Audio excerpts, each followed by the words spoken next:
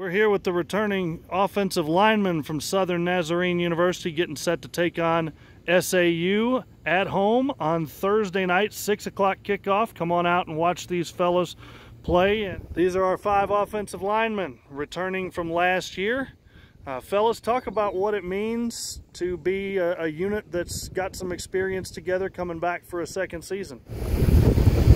Uh, as a center, I think last year we were such a young group and I think over the spring, one of the things we were trying to do also uh, all spring was to just build the bond, uh, chemistry together.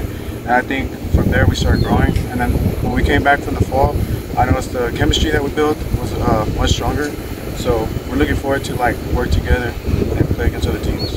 Like you said, we were young, but experience builds, uh, and it's built off last year's experience. We got a lot of dudes back, dude that was hurt is back. That's dependable.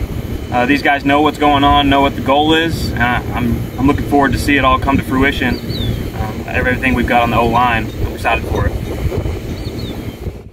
Fellas, the, the stereotype of offensive linemen is they like it when you run the football. Hat on a hat, push them backwards.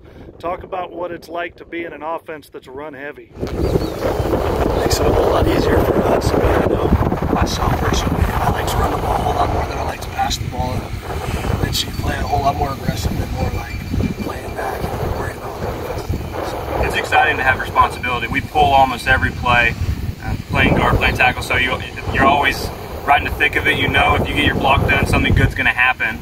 And having that kind of responsibility, it's fun, exciting. It's a lot. It's a lot of fun. Guys, SAU, a very good statistical run defense last year. What challenges does that present as an offensive line going up against guys who are good at stopping the run? We just got to play with rhythm. That's one of our things. We just got to play with rhythm. We got to identify their defense and how they line up. We just got to communicate with them because they got some back.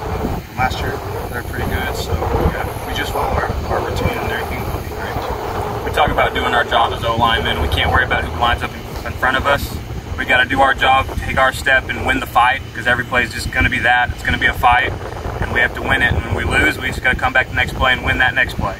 We can't worry about anything else.